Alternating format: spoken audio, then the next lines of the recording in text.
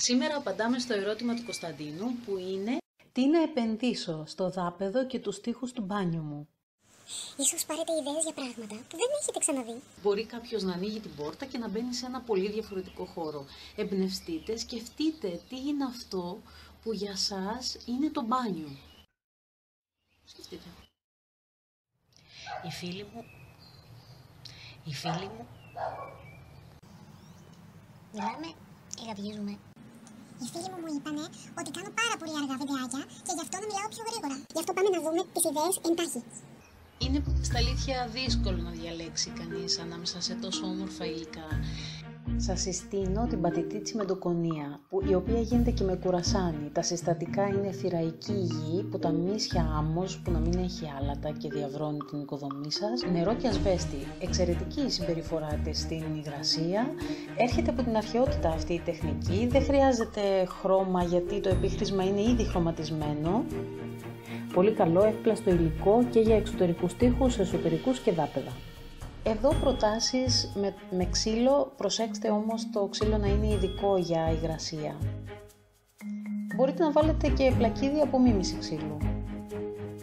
Και έτσι περνάμε στα πλακίδια, τα οποία θα βρείτε σε διάφορα μεγέθη, διαφορετικά σχήματα, χρώματα. Πλέον οι εταιρείες έχουν κάνει καταπληκτική δουλειά, μιμούνται τη φύση, μιμούνται το παραδοσιακό, φαίνονται χειροποίητα, είναι πάρα πολύ καλή η ποιότητα που μπορείτε πια να βρείτε. Και ο στόχος τους είναι να φέρουν τη φύση να τη ζωντανέψουν μέσα στο σπίτι σας, να είσαστε εναρμονισμένοι με το περιβάλλον είναι πολύ σημαντικό να ξέρετε το ύφος που θέλετε να δώσετε. Οι εταιρείες γενικότερα θέλουν να σας βάλουν στο παιχνίδι και να αλληλεπιδράτε με το χώρο σας δυναμικά. Από την προσωπική μου συλλογή, από τη Salone del Mobile, από την έκθεση στο Μιλάνο, βλέπετε εδώ πλακίδια που έχουν μέσα ζουμί, έχουν χρώμα και έτσι πατάς και αλλάζει το σχήμα του. Είναι πάρα πολύ ωραία. Και εδώ πλακάκια τα οποία έχουν φως. Από την εταιρεία Swarovski προτείνονται πλακάκια που έχουν Swarovski μέσα και φως, πολύ ωραία συλλογή και η τεχνολογία πια θέλει να αγγίζουμε κάτι και να μεταφέρουμε το φως μας. Έτσι ακουμπάμε τα πλακάκια και δίνουν φως. Ε, μας βάζουν στο κόλπο οι εταιρείες και μας επιτρέπουν να στείλουμε τις δικές μας φωτογραφίες και να τις ζωντανέψουμε στους τοίχους μας. Και έτσι μπορείτε να κάνετε και αυτό. Ακόμα υπάρχει και η περίπτωση ειδικών wallpaper, ε, ταπετσαριών δηλαδή, που μπορείτε να βάλετε στους τοίχους του μπάνιου. Θα πρότεινα όχι στα σημεία που βρέχετε πάρα πολύ, αλλά σε κάποιο ουδέτερο σημείο μέσα στο μπάνιο σας. Μπορείτε με ειδικά υλικά να βάψετε τους τοίχους σας, να μην χρησιμοποιήσετε πλακάκι και να κάνετε ε, έργα τέχνης. Γιατί όχι; Για τους πιο παραδοσιακούς και τρελούς όμως υπάρχει και η λύση του να σπάσετε πλακάκια και να φτιάξετε δικά σας πράγματα, τη δική σας τέχνη. Για αυτούς όμως που βαριούνται κάποιες εταιρείες όπως είναι η Bizacha έχει προβλέψει και μπορείτε να στείλετε πάλι τη φωτογραφία σας και να την κάνει ψηφίδα. Οι ψηφίδες τους πλέον μπαίνουν και στα σαλόνια όπως βλέπετε. Είναι κοσμήματα και εδώ από την ίδια εταιρεία 24 ε, καρατίων χρυσός.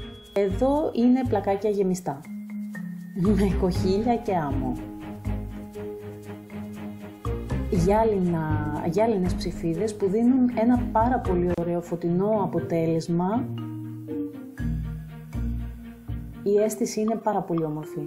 Και για τους πιο παραδοσιακούς, κλασικούς, το μάρμαρο ή η πέτρα που μπορείτε να συνδυάσετε και να δώσετε διαφορετικό ύφος ανάλογα με τα έπιπλα που θα το συνδυάσετε πλακίδια λευκού χαλαζία. Καταλαβαίνετε το βάθος και το επίπεδο της θεραπείας που μπορείτε να κάνετε στο μπάνιο σας, νηπτήρας αμέθιστου, αλλά αν δεν έχετε την οικονομική δυνατότητα, πάρτε κομμάτια αμέθιστου με το δικό σας πάζλ ή απλά ρίξτε τα σε μια γεμάτη μπανιέρα και μπείτε.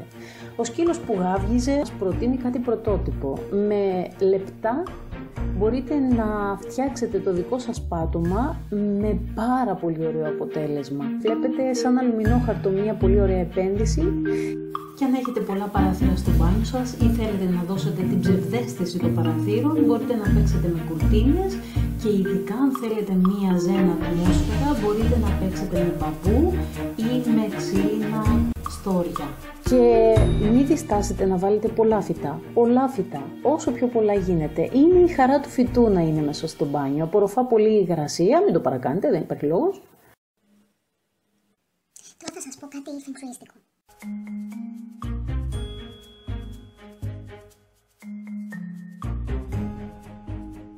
Είναι σημαντικό να ξέρετε το ύφος που θέλετε να δώσετε στο μπάνιο σας.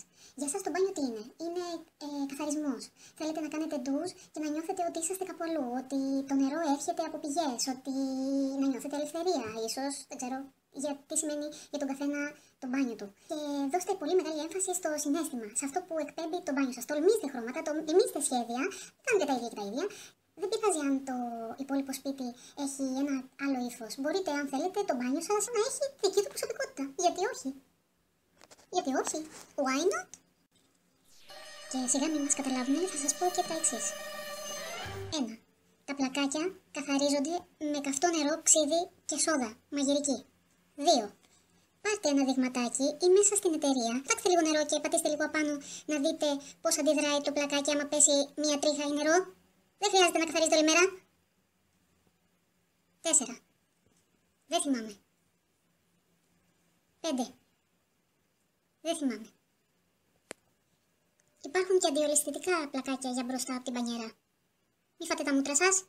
Μην ξεχάσετε να κάνετε εγγραφή στο κανάλι μου στο YouTube πατώντας πάνω στη φατσούλα και να κάνετε like, να το κοινοποιήσετε στον τοίχο σας, να το στείλετε στους φίλους σας και επίσης να σχολιάσετε από κάτω την ερώτηση που θέλετε να αναπτύξουμε στο επόμενο θέμα.